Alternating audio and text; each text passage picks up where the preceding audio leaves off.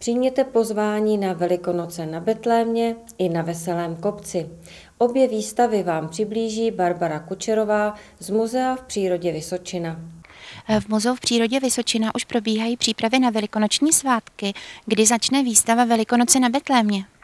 Tak naše výstava Velikonoce na Betlémě začíná 19. března v úterý, protože v pondělí máme zavírací den, tak od úterka a bude trvat měsíc až do 14. dubna.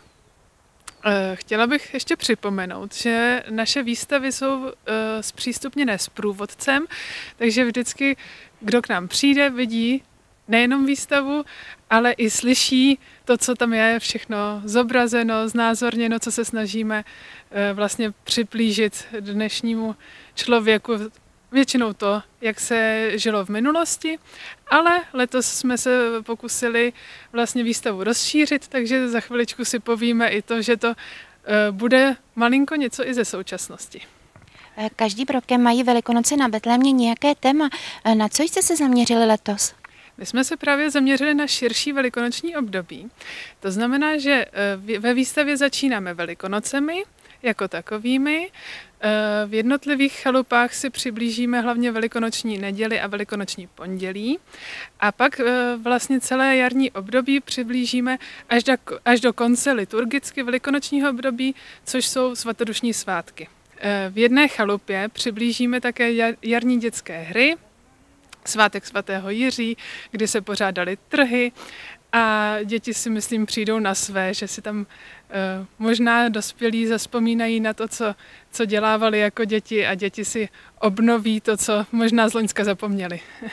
tak, ještě řeknu, že v dalších chalupách budou představeny Filipokupská noc, která byla čarovná a v poslední chalupě, která je taková nejvíc výstavní, si představíme stavění a kácení mají a všechny uh, svátky, zvyklosti a zvyky, které se týkají letnic neboli svatodušních svátků. Eh, stavění mají na Hlinecku v posledních letech ožívá. Mohla byste nám přiblížit netolik známé zvyky o čarovné eh, Filipo Jakubské noci nebo letnicích? Ano, ráda.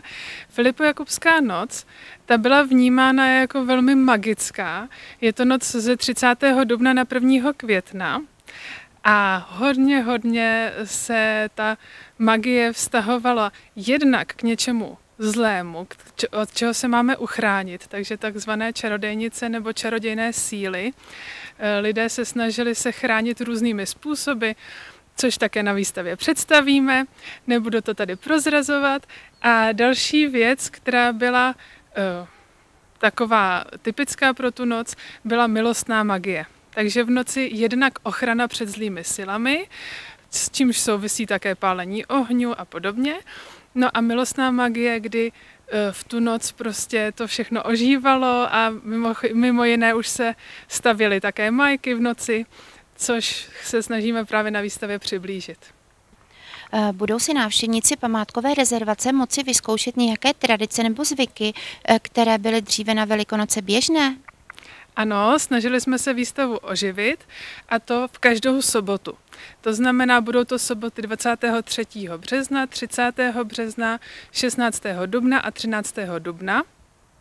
Ty tři první, to znamená Eh, před květnou nedělí, na Bílou sobotu a týden po Velikonocích představíme zdobení vajec, takže kraslice, budete si moc všechno vyzkoušet, přijít se podívat, anebo si sednout a pustit se do toho. A 13. dubna, těsně před koncem výstavy, si můžete zkusit vyrobit píšťalku z vrbových proutků, což je něco, co v minulosti znal každý kluk, a v současnosti už to tak lec kdo neumí, takže bych chtěla moc pozvat každého, kdo by se to chtěl třeba jenom podívat, anebo si to i zkusit. Eh, připravili jste něco speciálního pro děti? Tak, eh, speciálního pro děti eh, máme jednak tyhle ty v soboty, které budou zpřístupněné veřejnosti a dětem vlastně přizpůsobujeme tu výstavu jako takovou, protože děti jsou naše opravdu eh, velká cílová skupina, že přijíždějí zájezdy, mateřský, mateřské školky, základní školy. A vlastně u nás jednak uvidí tu výstavu, uvidí ty dětské hry ale budou si moci s námi ozdobit májku, což bude něco, co si budou moci přímo vyzkoušet a možná je taky zaujme třeba čištění studánek. Eh, koho byste ráda pozvala, teda kromě všech dětí, na velikonoční výstavu na Betlémě? Ráda bych pozvala každého, kdo si chce zpříjemnit ten čas kolem Velikonoc a možná třeba i po Velikonocích si ještě připomenout, co bylo dál. Eh, na jaře půjde okolo, tak rozhodně všechny zvu. Eh, hodinku přibližně strávíte s našimi průvodkyněmi a dozvíte se opravdu jako množství informací, eh, které se týkají celého jara v lidovém prostředí. Kdy ožije velikonočními tradicemi Veselý kopec?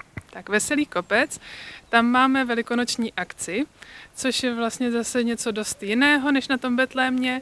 E, velikonoční akce se koná čtyři dny, na Velký pátek, na Bílou sobotu, na Boží hod velikonoční a o velikonočním pondělí. Všechny tyto čtyři dny bude zpřístupněn celý areál Veselého kopce, kde představíme zase velikonoční svátky, tentokrát ten velikonoční týden. To znamená od květné neděle, celý velikonoční týden, zelený čtvrtek, velký pátek, bílou sobotu, velikonoční, pondělí, eh, velikonoční neděli a pondělí. No a na akci také vystoupí různí účinkující, budeme tam mít řemeslníky a budete si toho moc mnohem více ještě vyzkoušet. Eh, co si budou moci na Veselém kopci vyzkoušet malí i velcí návštěvníci a čeká je nějaký další doprovodný program? tak eh, návštěvníci si na Veselém kopci rozhodně mohou vyzkoušet pletení pomlázek, což je velmi oblíbené.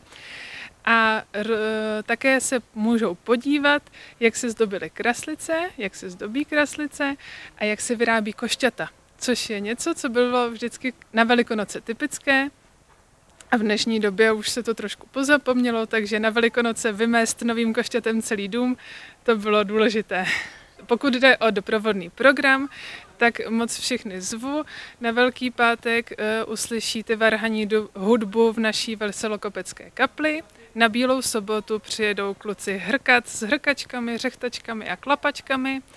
Na velikonoční neděli uvidíte uh, dvě hudební vystoupení, jedno hudebně taneční, což bude folklorní soubor Kalamajka z Havlíčkova Brodu a jeden uh, písňový repertoár, takže po Veselém kopci také budou procházet uh, muzikanti, tentokrát s níněrou a cymbálkem, což jsou netypické nástroje v dnešní době, možná už ani o nich lidé neví, tak se snažíme přiblížit také něco z toho hudebního světa.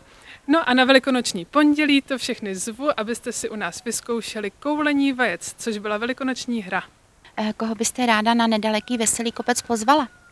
tak na Veselý kopec zvu rozhodně všechny, kteří se e, nebojí terénu a chtějí si přiblížit Velikonoce v lidovém prostředí, tak jak bývaly u nás běžné a chtějí se pobavit a prožít příjemný den.